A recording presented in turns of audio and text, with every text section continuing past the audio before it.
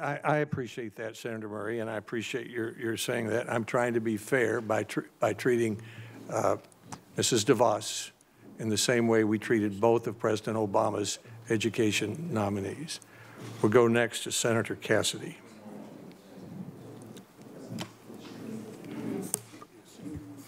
Mr. DeVos, thanks. Good to see you again. Enjoyed our meeting uh, in anticipation of this. I'm really struck. Um, the kind of um, reaction your nomination has elicited. So let me just ask some questions. Do you support public education? Absolutely, Senator. Man, that's amazing. you would think some would have us think that you do not.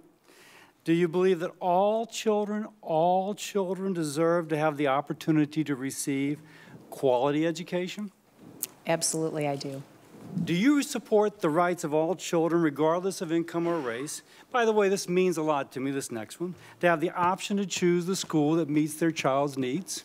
Absolutely, I do, and I commend you and your wife for the school that you've started that's specifically focused on dyslexic students. I will tell you, by the way, my son is very bright, graduated from, uh, speaking of dyslexia, graduated from an inner city school, public school, and then graduated with honors from a, from a, some fancy school northeast. And my daughter who has dyslexia, we're able to pay the tuition so that she can have her needs addressed. And not all parents can pay that tuition. So it matters very much to me that a parent, regardless of her income, can get her child's needs addressed. So thank you for doing that. Just a few more. Do you support the belief that decisions affecting our children's education are best left to the states and locals to decide, to allow them to ta tailor the education policies and programs that best need, that best meet the needs of their students? I do indeed. Oh my gosh. You, do you view the role of the U.S. Secretary of Education as an opportunity to advance your personal education views and agenda? Not mine personally. I'm, I'm going to hopefully be able to advance this uh, president-elect's and also the views of many, many parents nationally. You, as Secretary of Education, is it your intention to undermine our nation's public education system? Not at all. As Secretary, will you carry out the implementation of federal education laws in a way that reflects the very letter and intent of the law? Indeed.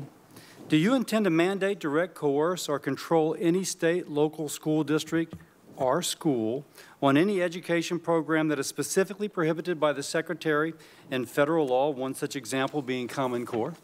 No. Do you intend to mandate, direct, coerce, or control any state, local, school district, or school to require school choice policies, including private school vouchers or scholarships? No. Now, let's just clear that for the record. Uh, next, just you mentioned dyslexia. I am passionate about it. 20% of us are dyslexics. 20%.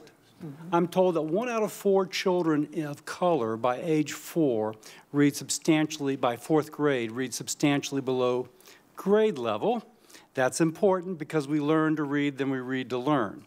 If you've not learned to read, you're behind the eight ball. So that is an issue I'm passionate about.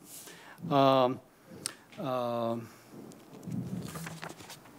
as Secretary of Education, will you commit to working with me and others to find common ways to promote better awareness and understanding of dyslexia?